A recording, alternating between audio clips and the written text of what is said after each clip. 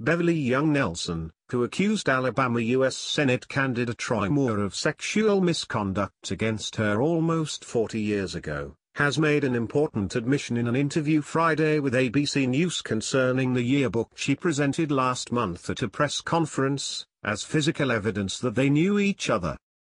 She altered the yearbook.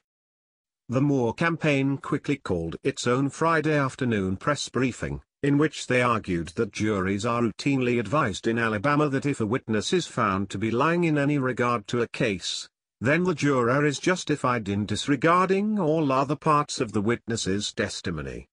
They also pleaded with the new media to go back and re-watch last month's press conference, and note that lawyer Gloria Allred and her client, Nelson, both said everything in the yearbook was written by Moore.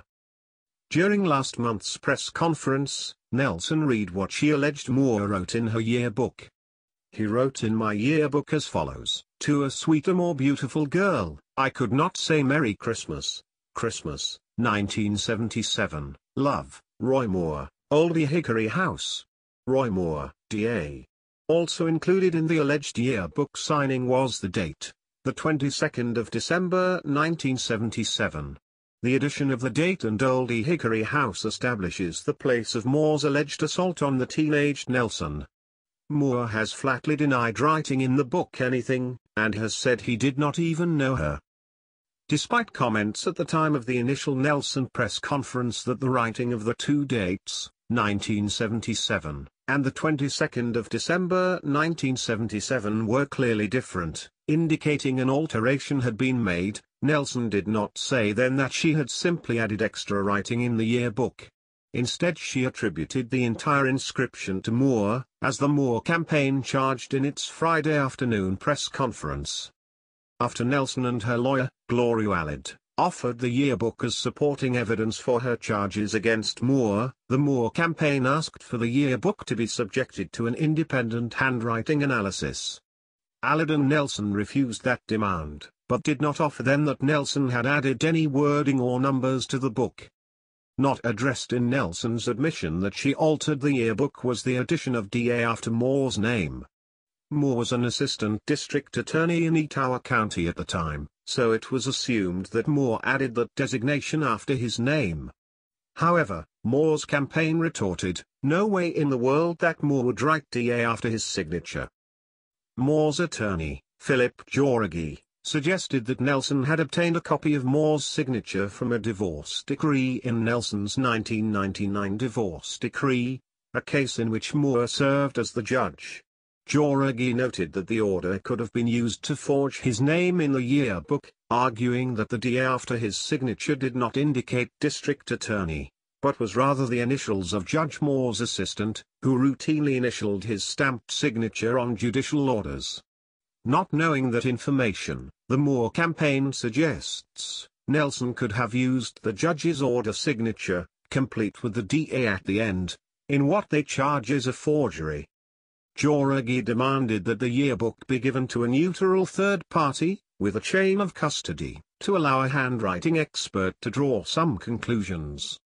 Allred refused, saying that she would only loan the book to a committee of the U.S. Senate, if that body wished to see it before deciding whether to seat Moore, should he win the election.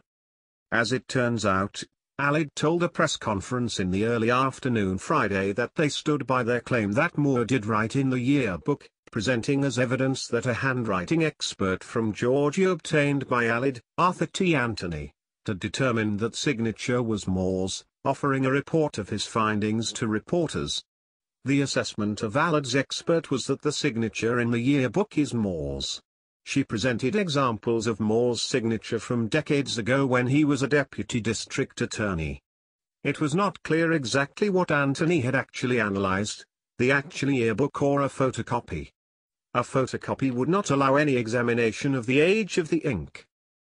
But Moore's campaign had asked for an independent analyst who would also consider the age of the ink on the page of the yearbook, as well as the signature itself. Instead, an expert found by Allred was used. This led the Moore campaign, in its Friday afternoon press encounter, to repeat its demand to Allred that the yearbook be submitted to a real independent expert instead of your, Allred's, expert. That way, we can find out, they argued, whether the ink is 40 years old or just a few weeks old. So, why did Nelson add additional language to the alleged inscription? Beverly indicates she added that to remind herself of who Roy Moore was and where and when Mr. Moore signed her yearbook, Allred explained. Moore tweeted in response, now she herself admits to lying. Nelson's stepson, Daryl Nelson, announced in a YouTube video last month that his stepmother was lying about Judge Moore, and that he intended to vote for him.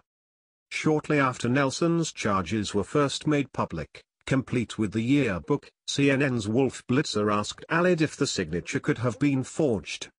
Allred responded, well, all I'm saying is, we will permit an independent examiner of the writing.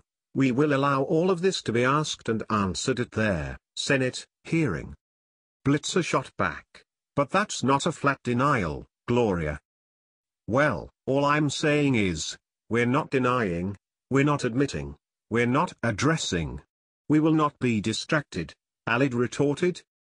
At this point, Blitzer wondered why a Senate hearing would be needed, asking why Allred would not just permit an independent expert to take a look. Allred explained, well, ah, uh, all I can say is we want it done in a professional setting to the extent possible. That's the only setting in which people can testify under oath. When Nelson finally admitted that the yearbook was altered, she received much more help from ABC News, whose reporter Tom Llamas almost seemed to be coaching her. Beverly, he signed your yearbook, to which she responded, he did sign it. Llamas then added, and you made some notes underneath. What Llamas did not do was ask some obvious questions, such as why she did not tell reporters that she had added material to the inscription in the original news conference.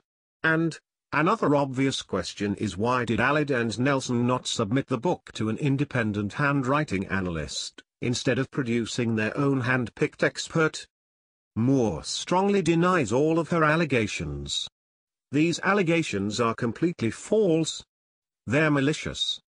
Specifically, I do not know any of these women, nor have I ever engaged in sexual misconduct with any woman, Moore told supporters last week at a rally in Henagar, Alabama. Of Nelson specifically, Moore was succinct in a recent tweet, boyfriend at the time says she lied. Employees of the restaurant say she lied. Customers of the restaurant say she lied. Now she herself admits to lying.